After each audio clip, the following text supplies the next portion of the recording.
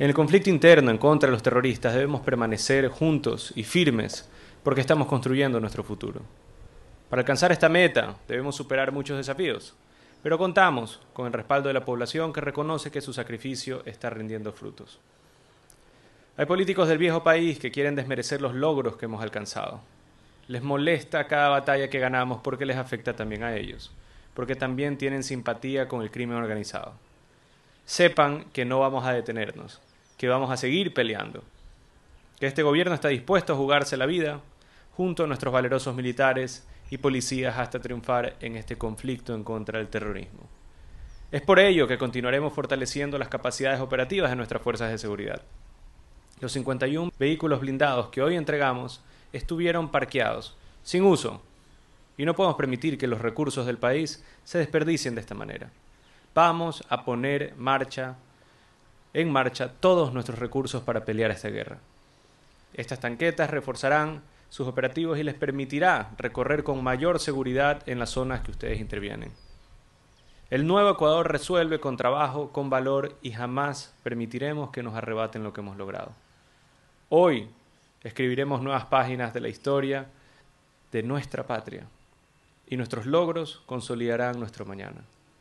Conquistemos nuestros sueños con valentía y con coraje contamos con el compromiso valeroso, decidido de nuestras Fuerzas Armadas. Juntos sacaremos adelante al país y dejaremos un mejor futuro a nuestros hijos.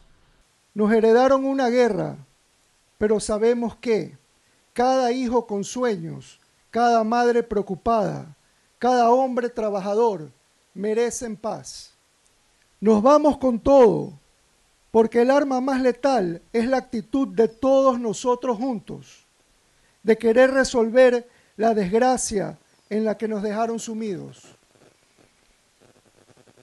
Vehículos sin liderazgo es una letra muerta.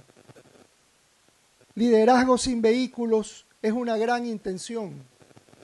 Pero herramientas con liderazgo es la señal de más victorias. El fracaso estará siempre lleno de excusas.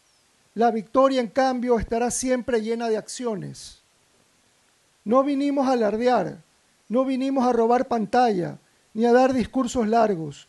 Vinimos a actuar y como tiene que ser, a estar en territorio al lado de la gente.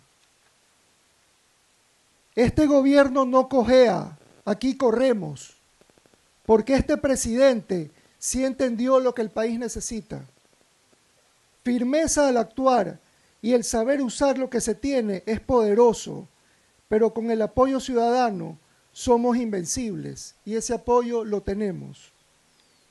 Cada día que pasa nos recuerda que tenemos desafíos, pero también somos capaces de ver oportunidades. Nos vamos con todo.